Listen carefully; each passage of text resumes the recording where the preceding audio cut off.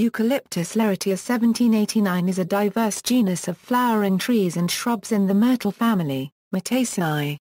Members of the genus dominate the tree flora of Australia. There are more than 700 species of eucalyptus, mostly native to Australia, and a very small number are found in adjacent areas of New Guinea and Indonesia. One species, Eucalyptus deglupta, ranges as far north as the Philippines. Only 15 species occur outside Australia, with just nine of these not occurring in Australia. Species of eucalyptus are cultivated widely in the tropical and temperate world, including the Americas, Europe, Africa, the Mediterranean basin, the Middle East, China and the Indian subcontinent, though most species do not tolerate frost. Eucalyptus is one of three similar genera that are commonly referred to as eucalypts, the others being Corymbia and Angophora.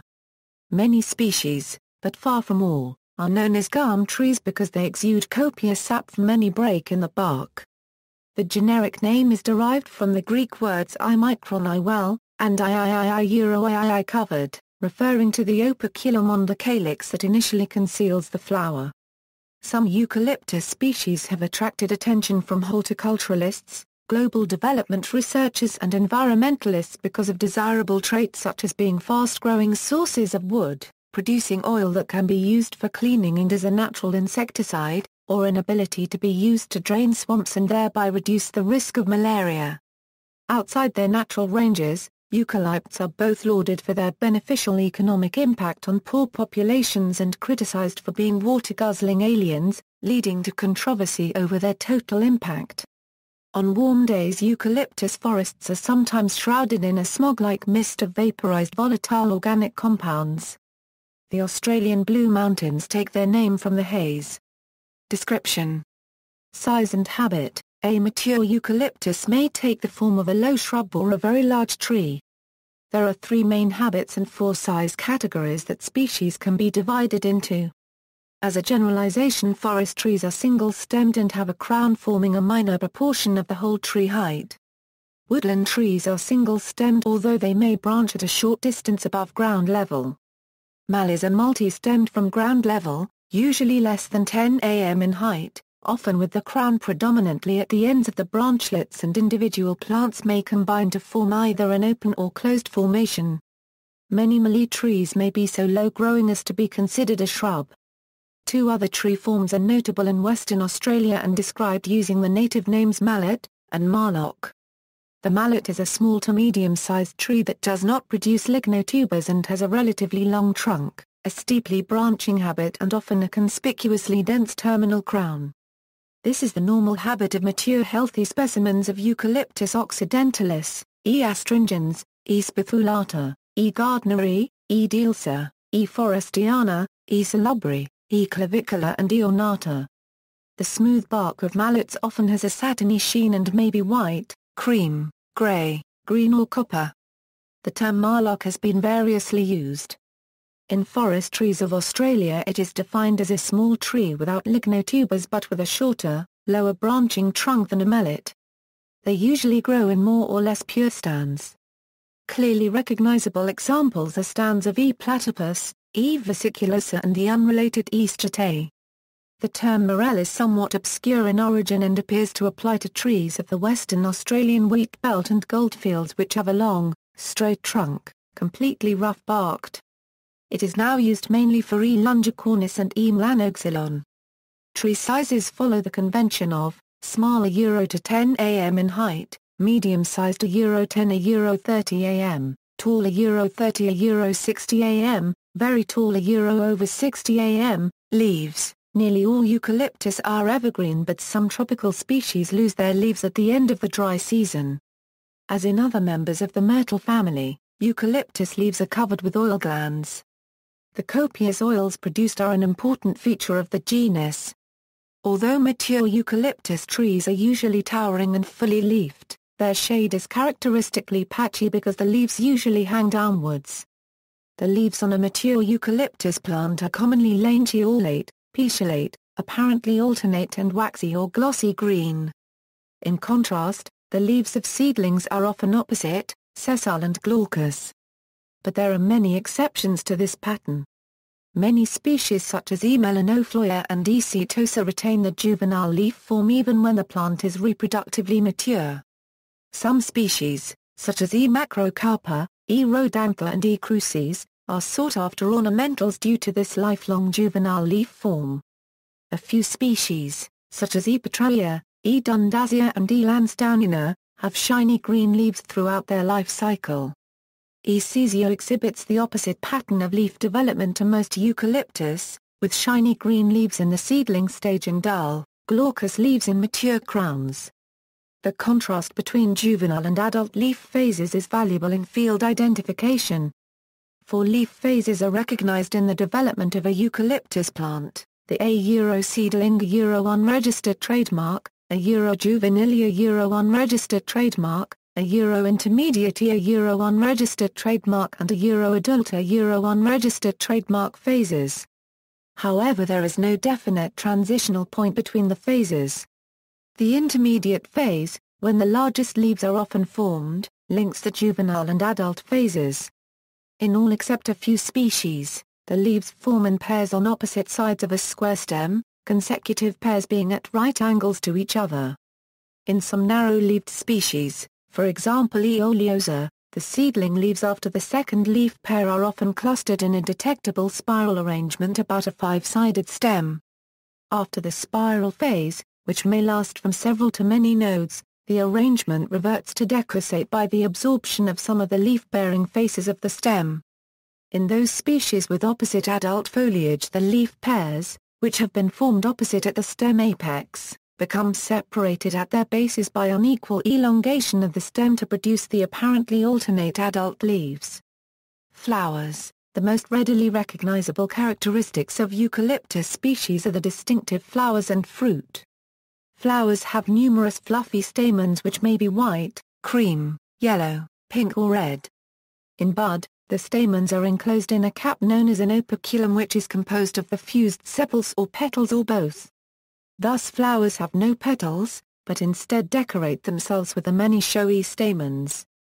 As the stamens expand, the operculum is forced off, splitting away from the cup-like base of the flower. This is one of the features that unites the genus. The name eucalyptus, from the Greek words eu, well, and kalyptos, cover, meaning well covered, describes the operculum. The woody fruits or capsules are roughly cone-shaped and have valves at the end which open to release the seeds, which are waxy, rod-shaped, about 1 mm in length, and yellow-brown in color. Most species do not flower until adult foliage starts to appear. Eucalyptus cinerea and Eucalyptus perenniana are notable exceptions. Bark The appearance of eucalyptus bark varies with the age of the plant, the manner of bark shed, the length of the bark fibers, the degree of furrowing, the thickness, the hardness and the color. All mature eucalypts put on an annual layer of bark, which contributes to the increasing diameter of the stems. In some species, the outermost layer dies and is annually deciduous either in long strips or in variably sized flakes. These are the gums or smooth-barked species. The gum bark may be dull, shiny or satiny or matte. In many species, the dead bark is retained. Its outermost layer gradually fragments with weathering and sheds without altering the essentially rough-barked nature of the trunks or stems a euro for example E. marginata, E. jacksonii, E. obliqua and E. porosa.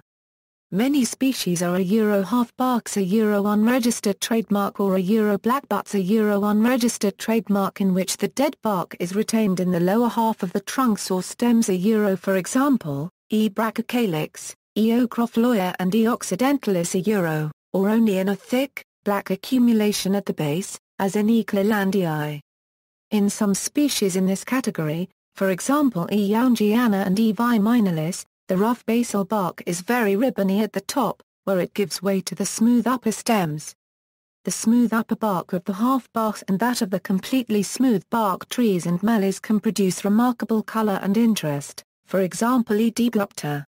Different types of bark that are commonly recognized include, stringy bark a euro consists of long fibers and can be pulled off in long pieces.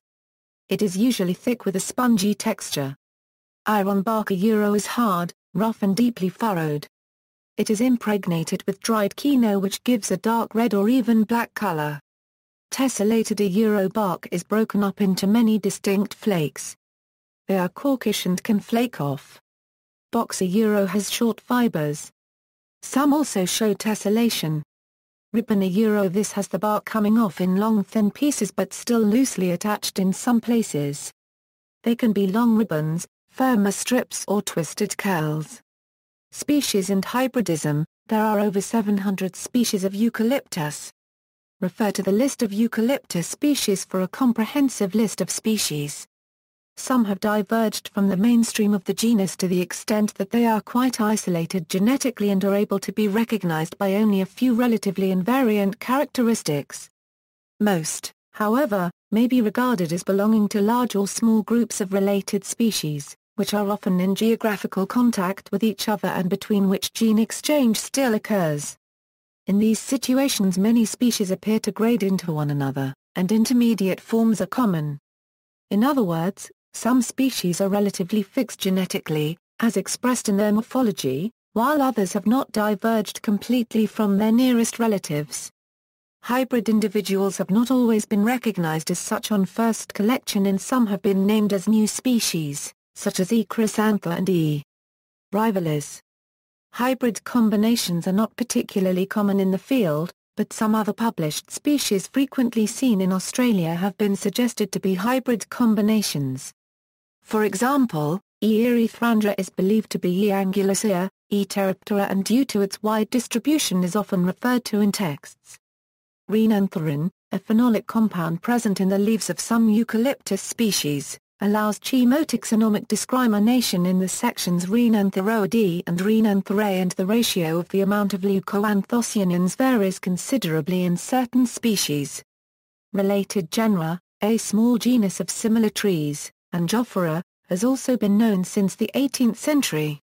In 1995 new evidence, largely genetic, indicated that some prominent eucalyptus species were actually more closely related to Angophora than to the other eucalypts.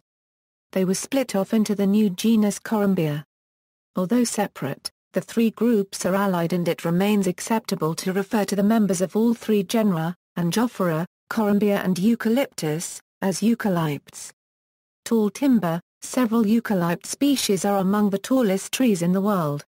Eucalyptus regnans, the Australian mountain ash, is the tallest of all flowering plants. Today, the tallest measured specimen named Centurion is 99.6 am tall. Coast Douglas fir is about the same height. Only coast redwood is taller, and they are conifers. Six other eucalypt species exceed 80 meters in height, Eucalyptus obliqua, Eucalyptus delegatensis, Eucalyptus diversicolor, Eucalyptus nitens, Eucalyptus globulus and Eucalyptus viminalis. Frost intolerance Most eucalypts are not tolerant of frost, or only tolerate light frosts down to a 5 AA degree Celsius. The hardiest are the snow gums, such as Eucalyptus pauciflora, which is capable of withstanding cold and frost down to about a 20 AA degree Celsius. Two subspecies, E. pauciflora subsp. Niphophila and E. pauciflora subsp. D. in particular are even hardier and can tolerate even quite severe winters. Several other species, especially from the high plateau and mountains of central Tasmania such as Eucalyptus coccifera, Eucalyptus subcrenulata and Eucalyptus gunnii, have also produced extreme cold hardy forms and it is seed procured from these genetically hardy strains that are planted for ornament in colder parts of the world. Animal relationships An essential oil extracted from eucalyptus leaves contains compounds that are powerful natural disinfectants and can be toxic in large quantities. Several marsupial herbivores, notably koalas and some possums, are relatively tolerant of it. The close correlation of these oils with other more potent toxins called formylated phloroglucinol compounds allows koalas and other marsupial species to make food choices based on the smell of the leaves. For koalas, these compounds are the most important factor in leaf choice. Eucalyptus flowers produce a great abundance of nectar, providing food for many pollinators including insects, birds, bats and possums. Although eucalyptus trees are seemingly well defended from herbivores by the oils and phenolic compounds, they have insect pests. These include the eucalyptus longhorn borer Phoracantha semipunctata and the aphid-like psyllids known as bell lerps, both of which have become established as pests throughout the world wherever eucalypts are cultivated. The eusocial beetle Austroplatypus incompertus makes and defends its galleries exclusively inside eucalyptus plants. Adaptation to fire Eucalypts originated between 35 and 50 million years ago. Not long after Australia New Guinea separated from Gondwana, their rise coinciding with an increase in fossil charcoal deposits, but they remained a minor component of the tertiary rainforest until about 20 million years ago, when the gradual drying of the continent and depletion of soil nutrients led to the development of a more open forest type, predominantly casuarina and acacia species. The aridification of Australia during the mid-tertiary period, combined with the annual penetration of tropical convection storms, and associated lightning, deep into the continental interior stimulated the gradual evolution, diversification and geographic expansion of the flammable biota. The absence of great rivers or mountain chains meant that there were no geographic barriers to check the spread of fires. From the monsoonal cradle, fire-promoting species expanded into higher rainfall environments, where lightning was less frequent, gradually displacing the Gondwanan rainforest from all but the most fire-sheltered habitats. The two valuable timber trees, Alpine ash delegatensis and Australian mountain ash regnans, are killed by fire and only regenerate from seed. The same 2003 bushfire that had little impact on forests around Canberra resulted in thousands of hectares of dead ash forests. However, a small amount of ash survived and put out new ash trees as well. There has been some debate as to whether to leave the stands or attempt to harvest the mostly undamaged timber, which is increasingly recognized as a damaging practice. Hazards The two most common hazards of eucalyptus species to people are fire and falling branches. Fire hazard Eucalyptus oil is highly flammable. Bushfires can travel easily through the oil-rich air of the tree crowns. Eucalypts obtain long-term fire survivability from their ability to regenerate from epicormic buds situated deep within their thick bark, or from lignotubers, or by producing serotinous fruits. In seasonally dry climates oaks are often fire-resistant, particularly in open grasslands, as a grass fire is insufficient to ignite the scattered trees. In contrast a eucalyptus forest tends to promote fire because of the volatile and highly combustible oils produced by the leaves, as well as the production of large amounts of litter which is high in phenolics, preventing its breakdown by fungi and thus accumulates as large amounts of dry, combustible fuel. Consequently, dense eucalypt plantings may be subject to catastrophic firestorms. In fact, almost 30 years before the Oakland firestorm of 1991, a study of eucalyptus in the area warned that the litter beneath the trees builds up very rapidly and should be regularly monitored and removed. It has been estimated that 70% of the energy released through the combustion of vegetation in the Oakland fire was due to eucalyptus.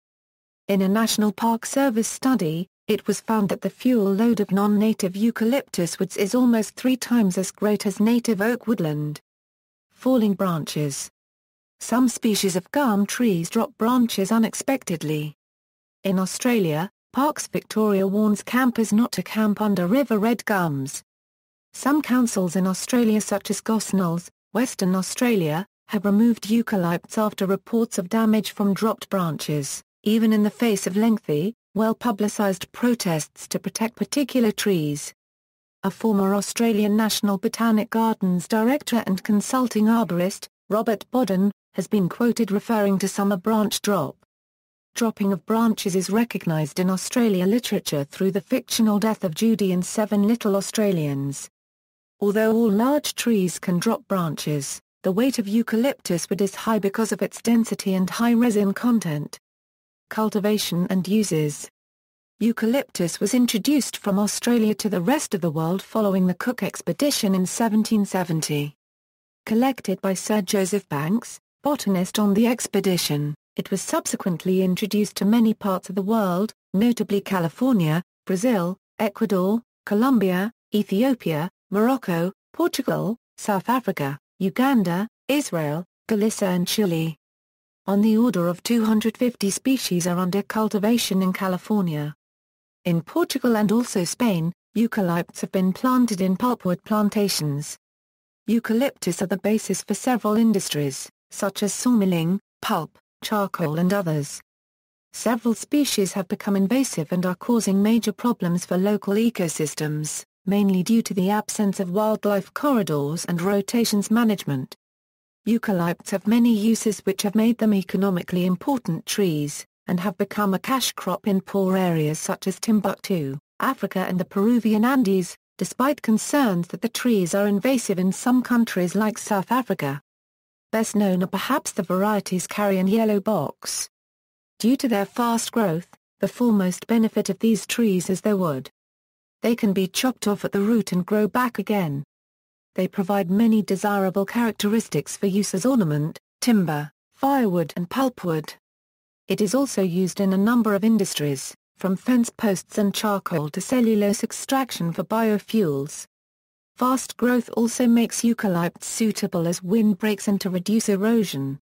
Eucalypts draw tremendous amount of water from the soil through the process of transpiration.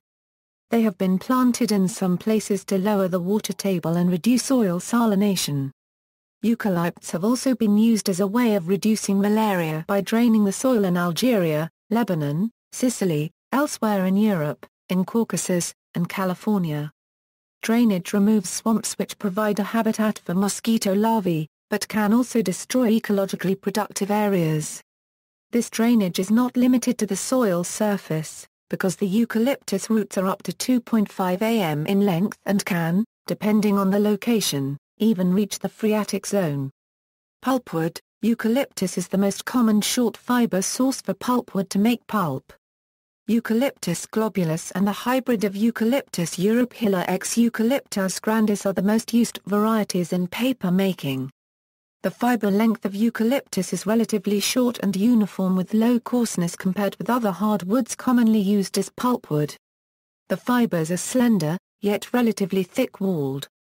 This gives uniform paper formation and high opacity that are important for all types of fine papers. The low coarseness is important for high-quality coated papers. Eucalyptus is suitable for many tissue papers as the short and slender fibers gives a high number of fibers per gram and low coarseness contributes to softness. Eucalyptus oil Eucalyptus oil is readily steam distilled from the leaves and can be used for cleaning and as an industrial solvent, as an antiseptic, for deodorizing, and in very small quantities in food supplements, especially sweets, cough drops, toothpaste and decongestants. It has insect repellent properties, and is an active ingredient in some commercial mosquito repellents. Eucalyptus globulus is the principal source of eucalyptus oil worldwide. Honey, the nectar of some eucalypts produces high-quality monofloral honey. Musical instruments, eucalypt wood is also commonly used to make didgeridoos, a traditional Australian Aboriginal wind instrument. The trunk of the tree is hollowed out by termites, and then cut down if the bore is of the correct size and shape. Dyes All parts of eucalyptus may be used to make dyes that are substantive on protein fibers, simply by processing the plant part with water. Colors to be achieved range from yellow and orange through green, tan, chocolate and deep rust red. The material remaining after processing can be safely used as mulch or fertilizer. Prospecting Eucalyptus trees in the Australian outback draw up gold from tens of metres underground through their root system and deposit it as particles in their leaves and branches.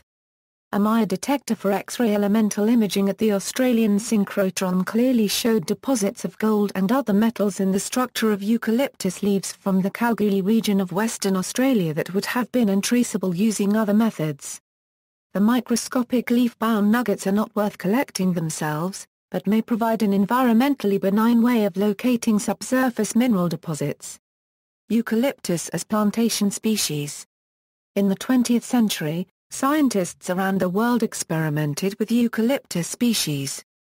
They hoped to grow them in the tropics, but most experimental results failed until breakthroughs in the 1960s-1980s in species selection, silviculture, and breeding programs unlocked the potential of eucalypts in the tropics. Prior to then, as Brett Bennett noted in a 2010 article, eucalypts were something of the El Dorado of forestry. Today, eucalyptus is the most widely planted type of tree in plantations around the world, in Brazil, Paraguay, Uruguay, Australia, India, Galicia and many more. North America, California. In the 1850s, eucalyptus trees were introduced to California by Australians during the California Gold Rush. Much of California has a similar climate to parts of Australia. By the early 1900s, thousands of acres of eucalypts were planted with the encouragement of the state government. It was hoped that they would provide a renewable source of timber for construction, furniture making and railroad ties. It was soon found that for the latter purpose eucalyptus was particularly unsuitable, as the ties made from eucalyptus had a tendency to twist while drying, and the dried ties were so tough that it was nearly impossible to hammer rail spikes into them. They went on to note that the promise of eucalyptus in California was based on the old virgin forests of Australia. This was a mistake as the young trees being harvested in California could not compare in quality to the centuries-old eucalyptus timber of Australia. It reacted differently to harvest. The older trees didn't split or warp as the infant California crop did. There was a vast difference between the two, and this would doom the California eucalyptus industry. One way in which the eucalyptus, mainly the blue gum E. globulus, proved valuable in California was in providing windbreaks for highways, orange groves, and other farms in the mostly treeless central part of the state. They are also admired as shade and ornamental trees in many cities and gardens. Eucalyptus plantations in California have been criticized because they compete with native plants and do not support native animals. Fire is also a problem. The 1991 Oakland Hills firestorm which destroyed almost 3,000 homes and killed 25 people was partly fueled by large numbers of eucalypts close to the houses. In some parts of California, eucalypt plantations are being removed and native trees and plants restored. Individuals have also illegally destroyed some trees and are suspected of introducing insect pests from Australia which attack the trees. Eucalyptus trees also grow in parts of the Pacific Northwest, Washington, Oregon and parts of British Columbia. South America, Uruguay. Antonio Lussich introduced eucalyptus into Uruguay in approximately 1896, throughout what is now Maldonado Department, and it has spread all over the southeastern and eastern coast. There had been no trees in the area because it consisted of dry sand dunes and stones.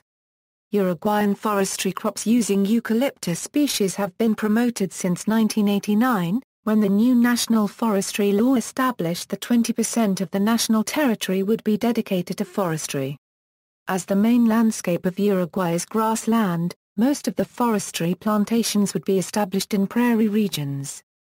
The planting of Eucalyptus sp has been criticized because of concerns that soil would be degraded by nutrient depletion and other biological changes. During the last 10 years, in the northwestern regions of Uruguay the eucalyptus sp plantations have reached annual forestation rates of 300%. That zone has a potential forested area of 1 million hectares, approximately 29% of the national territory dedicated to forestry, of which approximately 800,000 hectares are currently forested by monoculture of Eucalyptus spp. It is expected that the radical and durable substitution of vegetation cover leads to changes in the quantity and quality of soil organic matter.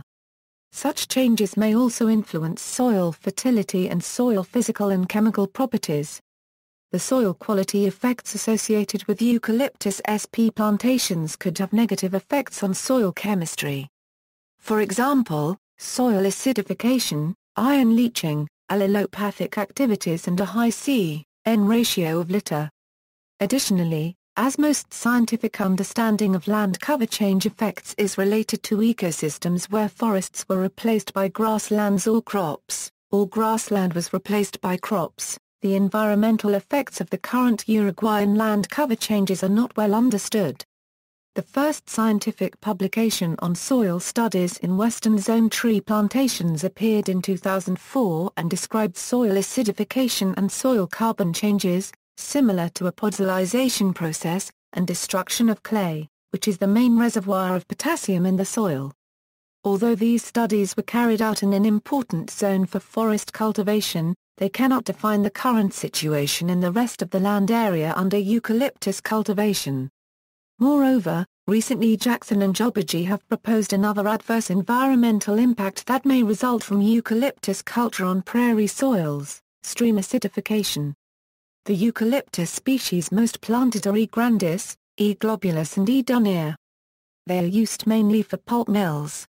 Approximately 80,000 ha of E. grandis situated in the departments of Rivera, Tacuarembó and Paysandú is primarily earmarked for the solid wood market, although a portion of it is used for sawlogs and plywood. The current area under commercial forest plantation is 6% of the total. The main uses of the wood produced are elemental chlorine-free pulp mill production, sawlogs, plywood and bioenergy. Most of the products obtained from sawmills and pulp mills, as well as plywood and logs, are exported. This has raised the income of this sector with respect to traditional products from other sectors. Uruguayan forestry plantations have rates of growth of 30 cubic meters per hectare per year and commercial harvesting occurs after nine years. Brazil Eucalyptus was introduced to Brazil in 1910, for timber substitution and the charcoal industry. It has thrived in the local environment, and today there are around 7 million hectares planted.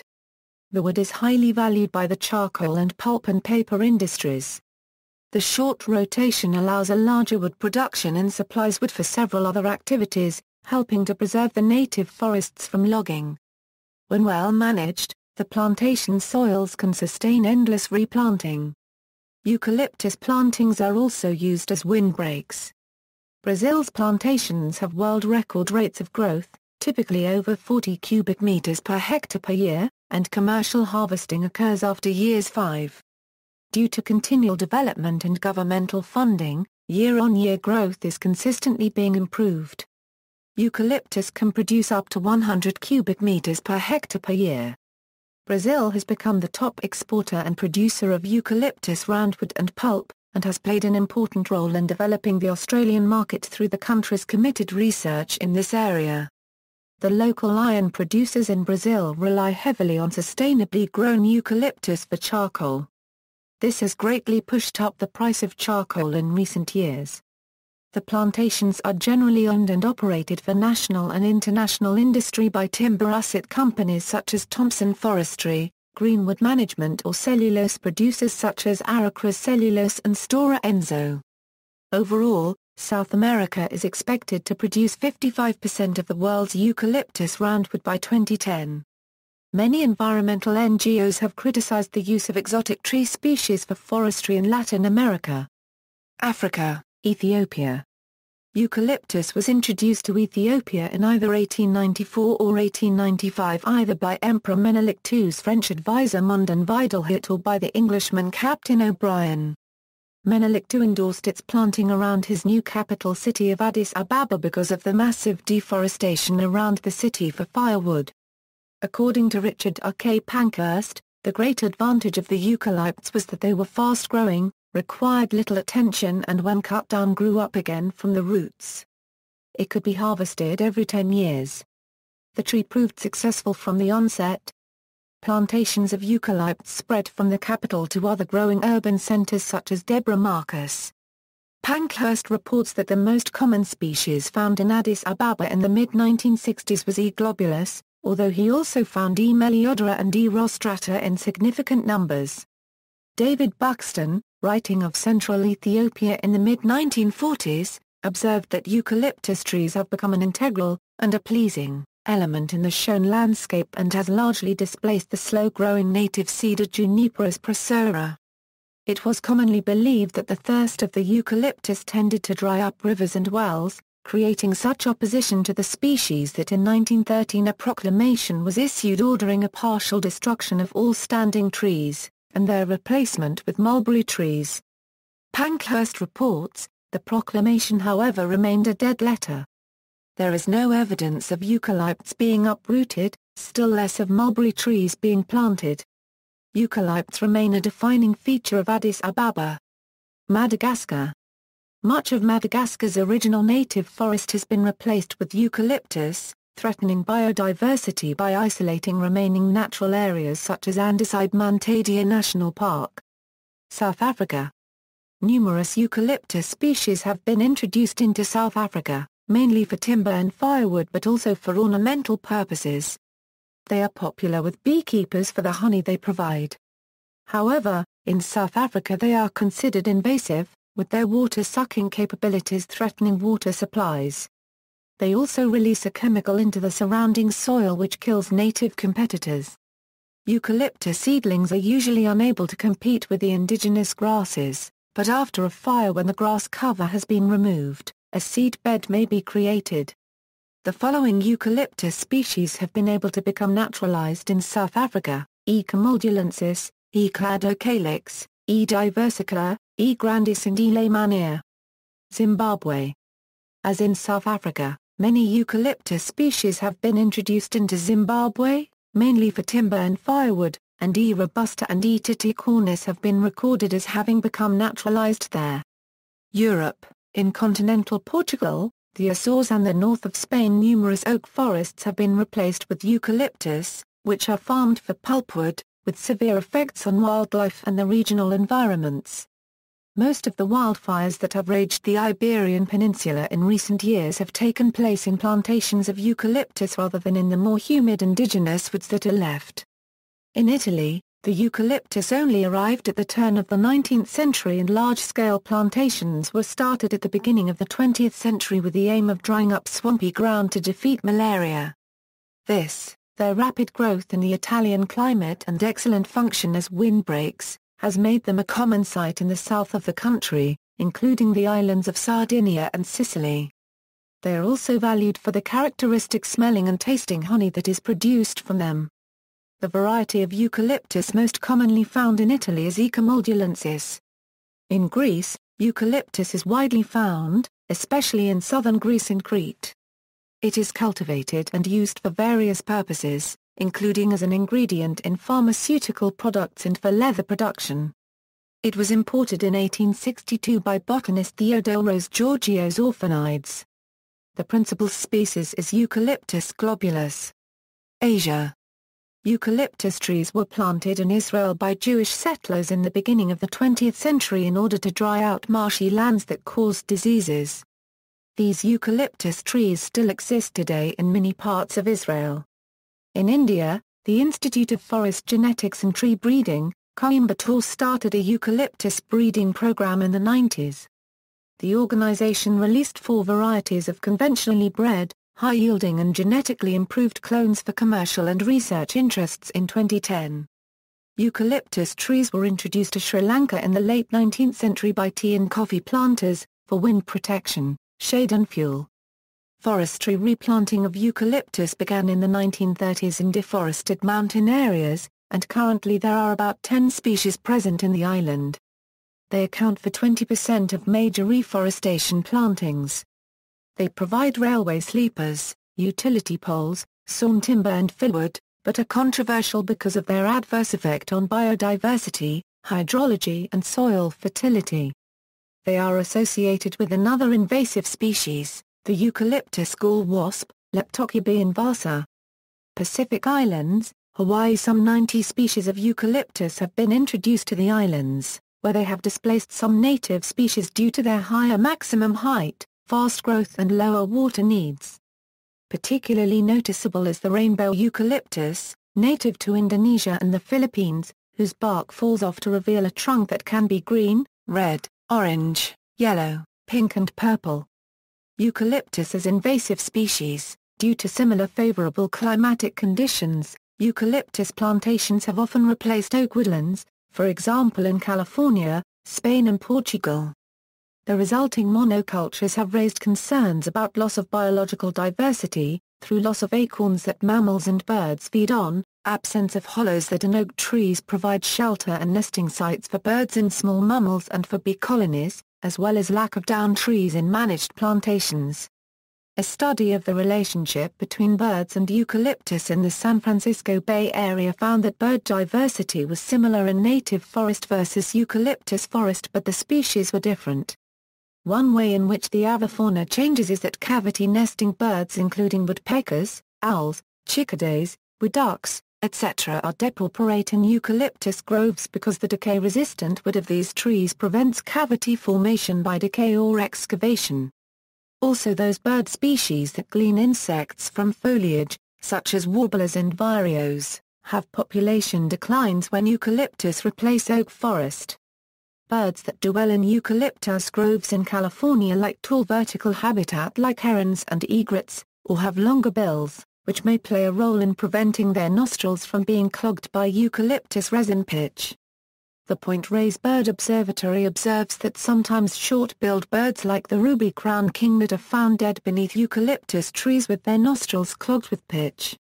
Monarch butterflies use eucalyptus in California for overwintering, but in some locations have a preference for Monterey pines.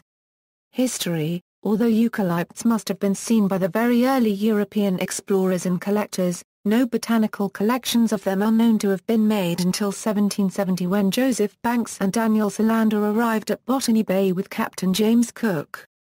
There they collected specimens of E. gummifera and later, near the Endeavour River in northern Queensland, E. platyphylla. Neither of these species was named as such at the time. In 1777, on Cook's third expedition, David Nelson collected a eucalypt on Bruny Island in southern Tasmania.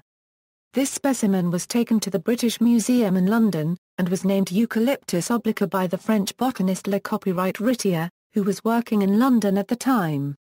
He coined the generic name from the Greek roots eu and calyptos, meaning well and covered in reference to the operculum of the flower bud which protects the developing flower parts as the flower develops and is shed by the pressure of the emerging stamens at flowering.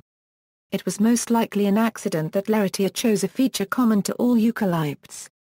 The name obliqua was derived from the Latin obliquus, meaning oblique, which is the botanical term describing a leaf base where the two sides of the leaf blade are of unequal length and do not meet the petiole at the same place. E. obliqua was published in 1788-89, which coincided with the first official European settlement of Australia. Between then and the turn of the 19th century, several more species of eucalyptus were named and published. Most of these were by the English botanist James Edward Smith and most were, as might be expected, trees of the Sydney region. These include the economically valuable E. pilularis, E. saligna and E. tereticornis the first endemic Western Australian eucalyptus to be collected and subsequently named was the Yate by the French botanist Jacques Labillardière, who collected in what is now the Esperance area in 1792. Several great Australian botanists were active during the 19th century, particularly Ferdinand von Mueller, whose work on eucalypts contributed greatly to the first comprehensive account of the genus and George Bentham's Flora Australiensis in 1867, which today remains the only complete Australian flora. The account is the most important early systematic treatment of the genus. Bentham divided it into five series whose distinctions were based on characteristics of the stamens, particularly the anthers, work elaborated by Joseph Henry Maiden and still further by William Faris Blakely. The anther system became too complex to be workable and more recent systematic work has concentrated on the characteristics of buds, fruits, leaves and bark. Photo gallery. See also, Currency Creek Arboretum, Eucalyptol, Eucalyptus oil, List of eucalyptus species, Indian Council of Forestry Research and Education, Notes. References.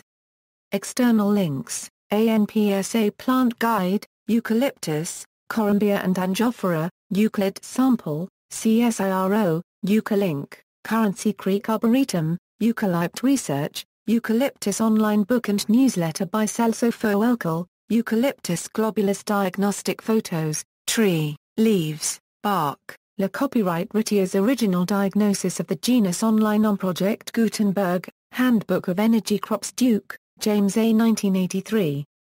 The Eucalyptus of California, Seeds of Good or Seeds of Evil? Santos, Robert. 1997 Dinger, Call Ali Cass Publications, The Rise and Fall of the Gum Tree, How California Came to Love a Euro then Disown a Euro Eucalyptus Farmer, Jared. 2014. Impacts of the Monoculture, The Case of Eucalyptus Plantations in Thailand, Eucalyptologics, Information Resources on Eucalyptus Cultivation Around the World Iglesias Trabado, Gustavo, Eucalyptus camaldulensis in Wildflowers of Israel, Institute of Forest Genetics and Tree Breeding, Medicinal Resources, Eucalyptus Essential Oil, Eucalyptus, Oleum eucalypti, BP oil of eucalyptus,